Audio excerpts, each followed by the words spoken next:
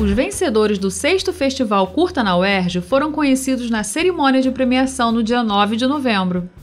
A edição deste ano bateu recorde de inscritos. Foram 108 vídeos candidatos de 15 estados diferentes, além do Distrito Federal. A votação popular contabilizou mais de 50 mil votos.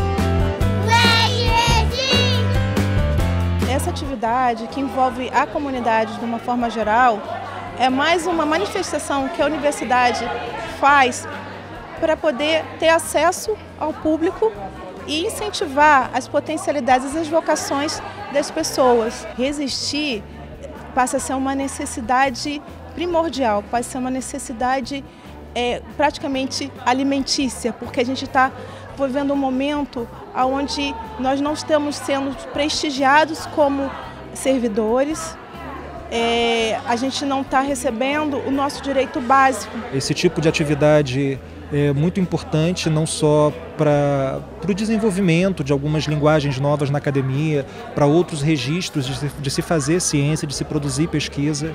Então foi, foi, muito, foi muito bom para a gente, especialmente nesse momento em que a UERJ sofre tantos ataques. Né?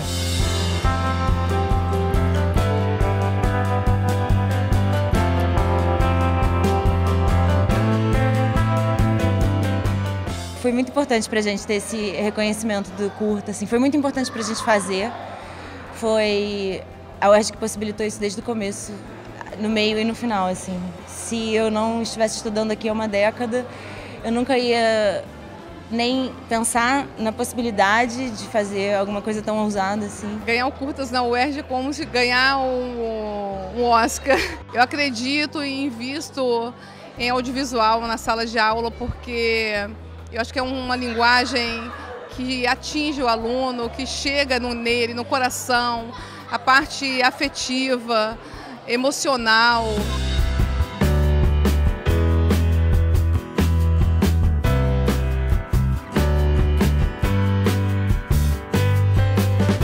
Foram muitos concorrentes, né? E a gente ter ficado em segundo lugar é uma coisa muito muito grande, sabe? Foi muito gratificante, foi uma experiência única, porque foi a primeira vez que a gente veio aqui para isso. E isso é muito bom, sério.